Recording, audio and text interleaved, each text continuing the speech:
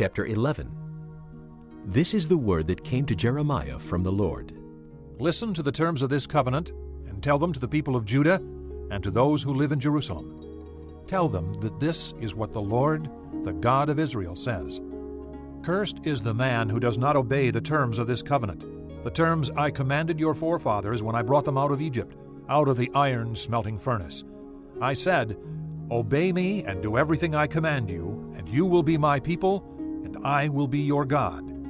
Then I will fulfill the oath I swore to your forefathers to give them a land flowing with milk and honey, a land you possess today. I answered, Amen, Lord. The Lord said to me, Proclaim all these words in the towns of Judah and in the streets of Jerusalem. Listen to the terms of this covenant and follow them. From the time I brought your forefathers up from Egypt until today, I warned them again and again, saying, Obey me. But they did not listen or pay attention. Instead, they followed the stubbornness of their evil hearts. So I brought on them all the curses of the covenant I had commanded them to follow, but that they did not keep. Then the Lord said to me, There is a conspiracy among the people of Judah and those who live in Jerusalem. They have returned to the sins of their forefathers, who refused to listen to my words. They have followed other gods to serve them. Both the house of Israel and the house of Judah have broken the covenant I made with their forefathers.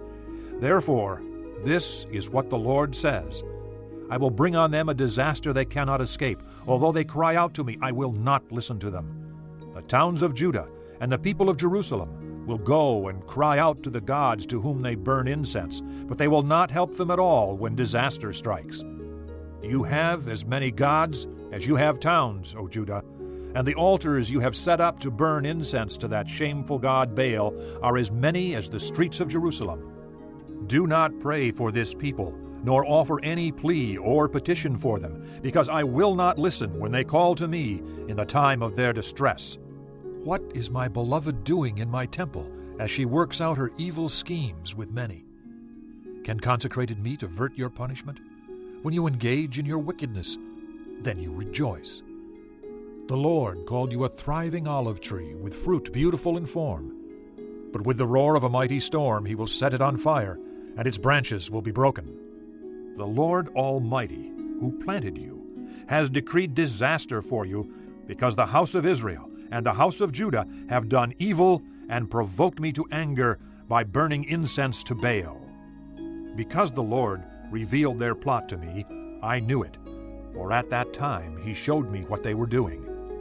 I had been like a gentle lamb led to the slaughter. I did not realize that they had plotted against me, saying, Let us destroy the tree and its fruit. Let us cut him off from the land of the living, that his name be remembered no more. But, O Lord Almighty, you who judge righteously and test the heart and mind, let me see your vengeance upon them, for to you I have committed my cause.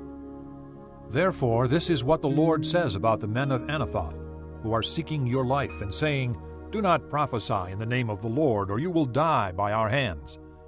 Therefore, this is what the Lord Almighty says I will punish them. Their young men will die by the sword, their sons and daughters by famine.